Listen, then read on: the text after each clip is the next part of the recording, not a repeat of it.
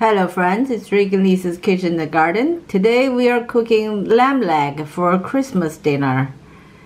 If you like your lamb a little bit pinky, you probably need to cook it about uh, 40 to 45 minutes.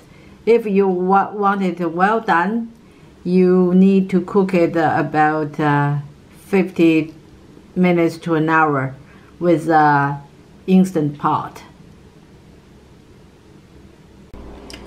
This is one beautiful New Zealand lamb leg and it's going to be marinated with one size fit all Cuban style steak marinade.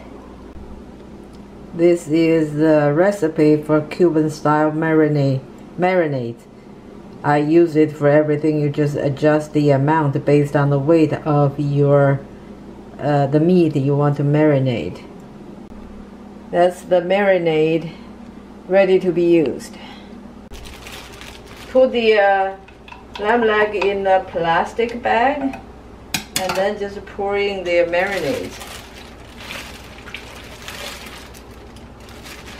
And after that, just give it a good massage. Make sure they are all properly covered with the marinade. Leave it in the fridge for overnight or two nights. It doesn't really matter and uh, then just cook it.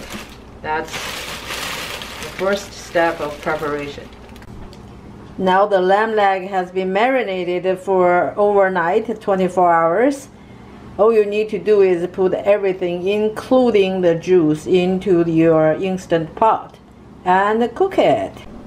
Put it in the instant uh, pot on setting on meat stew. It's about 35 minutes and uh, you don't need to add water or anything. The uh, meat will produce enough juice to get it cooked very well.